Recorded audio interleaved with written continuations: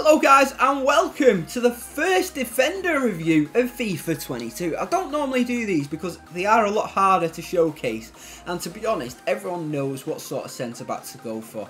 Um, this man though, I, I, wanted to give it a go, try something new and try and review a Defender. So we got Samuel Umtiti flashback. Now, he's got a low medium work rate which is pretty decent for a Defender. Um, left footed, two star skills and a three star weak foot. Could have been nice if he had the four star weak foot, but I mean, it is a start of FIFA. He's looking a decent card. Now we get on into his attributes. Now, I've heard other people say that 79 acceleration and 78 sprint speed on this man isn't good enough. I'm sorry, I don't know who or why people are saying that. We're at the start of FIFA and he's got 78 pace. If you went last year, the year before, the year before that, 78 pace is a phenomenal centre-back to start the game. We're only in October, lads. It's the first month, so I don't know why people are saying that. But obviously, we'll find out in game. But I think 78 pace is absolutely at that peak. Obviously, 80 is a really good pace.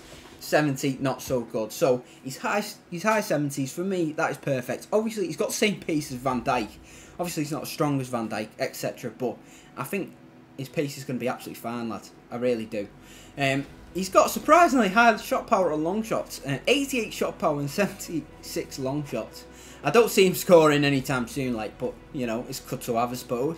Short passing, brilliant at 80, and 77 long pass is quite good as well, to be quite honest. 76 curve.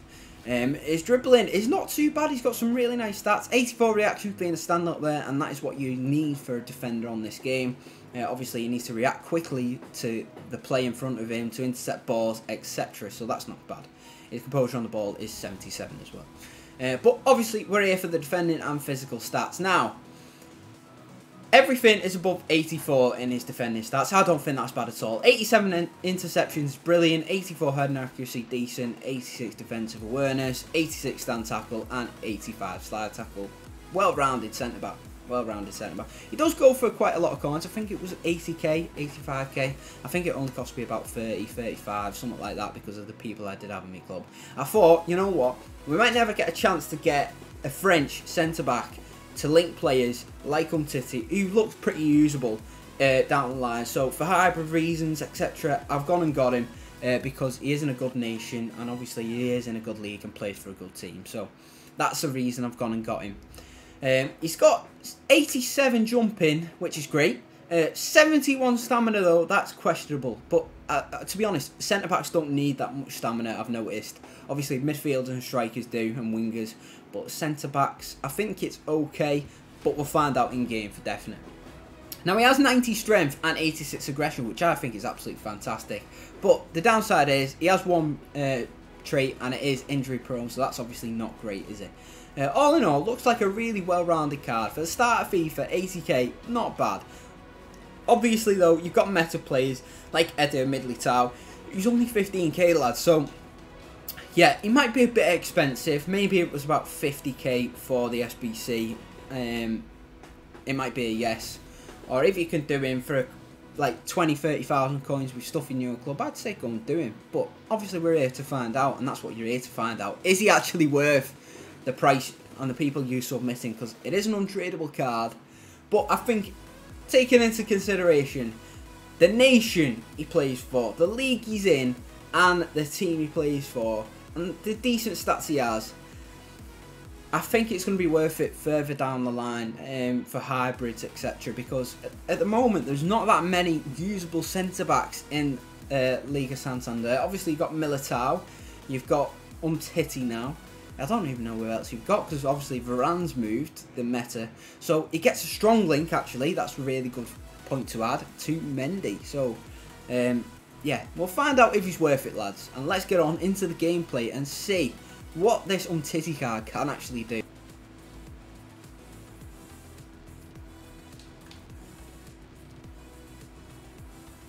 Lovely defending. There we go. Showing his defensive ability there just to snap the ball up. That pass was shit though! Oh, God, we're going to concede. No, we're not. I didn't realise this guy's got bloody Mbappe. It's going to be a real tough test for Umtiti.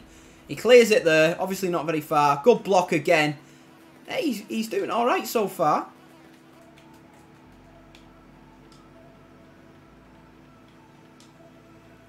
Lovely pass from Umtiti over to Kappa. We find Gerrard lingering. Is it his second? No, it's not. That one goes slightly over the bar. So we go into half time 1 1. Umtiti's been playing really well, to be quite honest. Uh, putting a shift in, getting blocks off, getting tackles in. Uh, quite impressed with him at the moment. Obviously, that could change. But let's go on into the second half and see if he can continue his performances. Again, great interception. His passing's a bit crap, though. Keeps getting intercepted. So, first game with Umtiti. It's been a difficult one. Lost 3-1. A couple of things happened in the game. My mum rung. My girlfriend rung. And Royal Mail came. It's because it's my birthday today.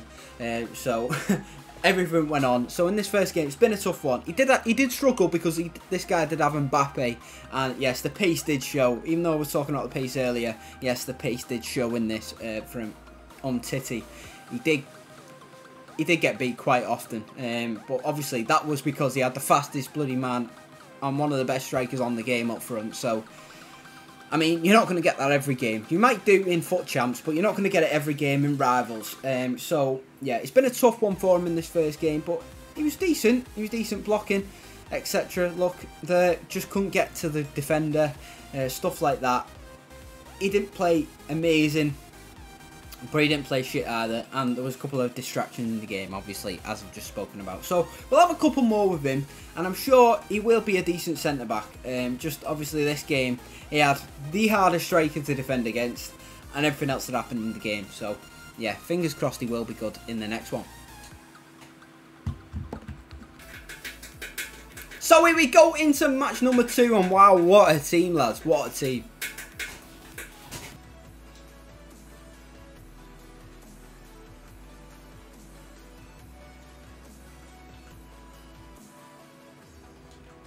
Great block there. The positioning was a bit funny there, to be honest, but then he did recover, get back, and got a lovely block in, Umtiti. Um, but I don't know what the initial positioning of him was. It was pretty poor. He's there again, though. And again, look at these interceptions, lads.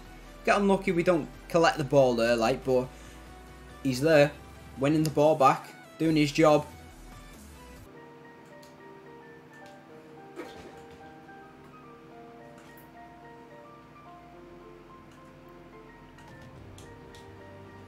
Oh, look at that! That was automatic AI defending as well. And he sticks a leg in there. Crucial moment as well. Oh my god, what a finesse. I want to get Salah. I want to try Salah out. I've not used him yet. Uh, but we're going to our time. 1-1. We're lucky it's 1-1, lads. We really are. Lucky it's 1-1.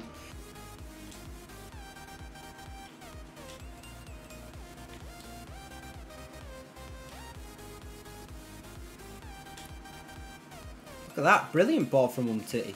Perfect. Oh, lovely one, two. Gerrard's through. Can we score again? Oh, he's the post. His left foot's pretty decent, lads. Second attempt on his left foot in this game. First one went in the back of the net. Second one, it's the post. And it hit the post off the keeper's deflection as well. He got an answer it.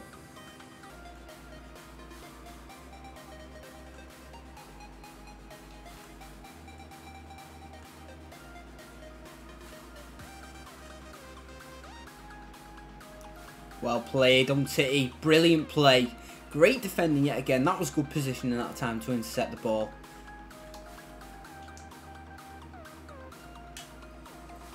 He's really good at these long passes, to be fair, Umtiti. Really good at playing out the back. Quite surprising how good he is, actually. So, Umtiti in this one, played well, made some good blocks again. Um, his pace is okay not mind-blowing. I do understand now why Marshall and others have been saying, yeah, his pace isn't the best. Um, I don't know what it is. He doesn't feel rapid for a centre-back, even though similar players with similar pace feel more fast. I, I just don't understand why. Um, but his interceptions and his blockings have been one of the best things about the guard. Absolutely fantastic. Um, his tackling's okay as well. He's a decent card.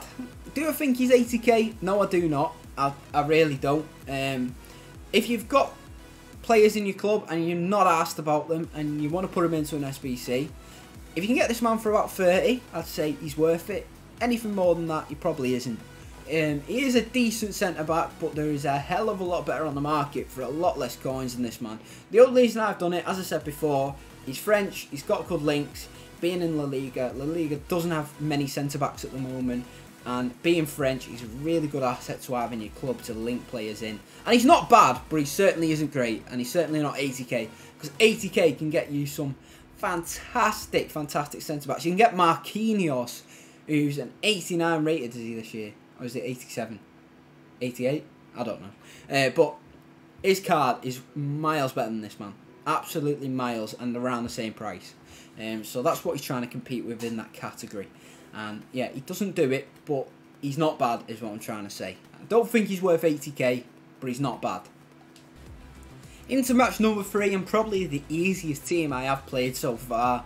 I mean, the two, the first two teams, he had Mbappe in the first one, and then that last team was well, well rounded. So, fingers crossed we can win this one.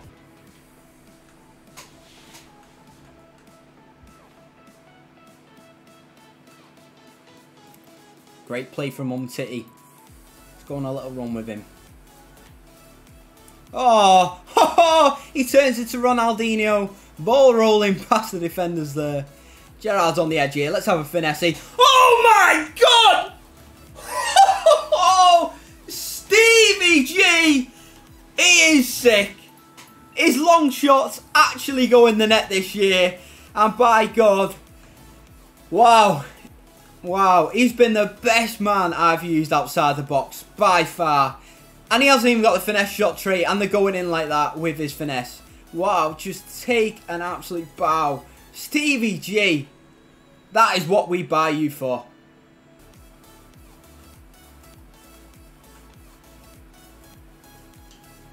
Oh, what a tackle, Umtiti. Great, great tackle from him.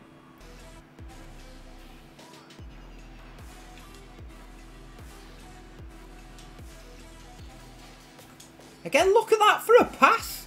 His long passing's been great. I really am surprised how good his long passing out the back is.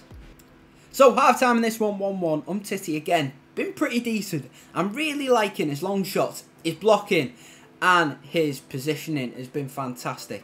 Um, well, position I say fantastic. Sometimes he is a little out of position. So we go into our time 1-1. Umtiti's been okay. Um, things I'm liking about him, his long passing out the back's been absolutely fantastic. Always pinpoint perfection, to be honest. Um, and the man's blocking and interceptions is fantastic. It really is. Just seems to be there when you need him to. So, final game with Umtiti, and we lost 6-5. Now that says, Jesus, the defending must have been shit. I tell you what was shit. Courtois, every single shot he had went in the back of the net. It really did. And the main main thing for me was he kept get going down the side that Umtiti wasn't on. It kept attacking Robertson and Eder Militao on the left side. Um, so I can't really blame Umtiti much. Um, he did miss the ball in some respects. His pace wasn't good enough in some places, you know, to get that burst of speed just to nick the ball off the defender. Um, but the two main things that I do like about him, as I said a couple of times, blocking and what was the other one? Blocking and interceptions. He's really good at. He was really good at. And long passing out the back, he's really good at. So I like sometimes, you know, pass it back to a centre back and then spray it across to one of my wide defenders to get some space, open up the play, and he can do that very superbly. It reminded me of Van Dijk in that respect because Van Dijk was very, very good at that. Um, not all defenders are, and Eder Militao definitely isn't. He's not a passer out the back, but defending wise, I'd probably say Militao is a bit better than this card. So, all in all, I wouldn't say he's worth it, but we'll get into my player summary of Umtiti anyway, right now. So, Samuel Umtiti, didn't get any goals, he didn't get any assists, and he didn't get any cards. Um, all in all, he's okay. He's not mind-blowing, he's definitely not worth 80k. Uh, I'd say for about 30k, if you can pick this man up for about 30k by dumping your crap out of your club into him, I'd say he's worth it. He's worth it for in the future when objectives come out and you need someone to be able to link, first owner, etc. I'd say he's worth it. Um, but if you're gonna go out and pay the coins to get him, I wouldn't submit 80k's worth of players into this man. No way, absolutely no way. Uh, he just isn't worth it, lads. There's plenty on the market that is a lot better. As I said, this man costs similar to Marquinhos, and Marquinhos is far, far better than this man. Far better. Even Kimpembe is far better. Eder Militao is far better as a defender, but spraying balls out the back, uh, he's got that versatility as he can be one of your centre backs who you can sort of dribble it out a bit, play the balls left it right, and that's what he's good at. He's good at doing that thing. He's good at intercepting and he's good at blocking. Um, he's not so good at quickly turning, getting a ball, sticking a. I say sticking a leg out. He is good at sticking a leg out, but what I mean is getting to that player quickly to get the leg out because he's not like six foot four like Van Dijk, etc. He can't just move one leg and he's reached the ball. He has to run and get the ball, if that makes sense. He has to move and get the ball, and he's not quick at that. Uh, that could be. His reactions are quite good at 84 actually, but I think. I think that's probably one of the reasons why he's not that great. If it was a bit higher, maybe 89, maybe he'd be able to get there. Uh, but I think it's his height that lets him down quite a lot on most occasions. Um, and now for the Brack was decent. Uh, cleared some headers out the back for me. That wasn't a problem all in all, he's a decent defender. Would I say he's worth it? No. If I had to give him a rating out of 10, I'd probably give him a 6. Um, quite harsh on him, to be honest, but 80k, when you can pick up Militao for 15, he'll do arguably a better job. Uh, it just says it all, doesn't it? But he is linkable. He's got a good link. He's a flashback card. I did enjoy him, but I don't think he's worth 80k at all. As I said, if you do and can do him for about 30, I'd say, yeah, go and do it it's worth it just to have him in your club. Even if you use him, he's going to be okay. He's not going to be mind blowing, but he's going to do the job. And that's what he did. He did an okay job for us. I think maybe if we had a bit of faster wing back on that side, and maybe if we moved him over to the left actually, um, obviously I can't do for chemistry reasons, but I could have in game. Uh, because of the left foot, you can spray it down that wing and stuff like that. Uh, that would probably been better. But uh, yeah, if we had a bit better defender around him, I'm sure it would play better.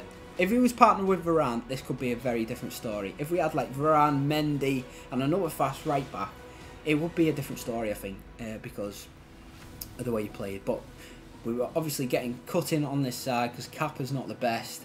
Obviously, Robertson isn't the fastest. He's a good defender, but he isn't fast. Eder Militao was doing his job, but defensively, it's not the greatest defence in the world, is it? And Um City, unfortunately, probably um, failed on that behalf because of the defence as well. Um, obviously, he's not mind blowing. He's definitely not mind blowing. As I said, 6 out of 10 rating for him.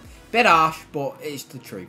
And that's what I'm here to give you guys. I'm here to save you pumping all your coins into him and then finding out he's not worth it. So that's what these reviews are for. If you have enjoyed today's review, please do leave a like. And if you are new around here, please do subscribe to the channel. And I'll catch you all next time.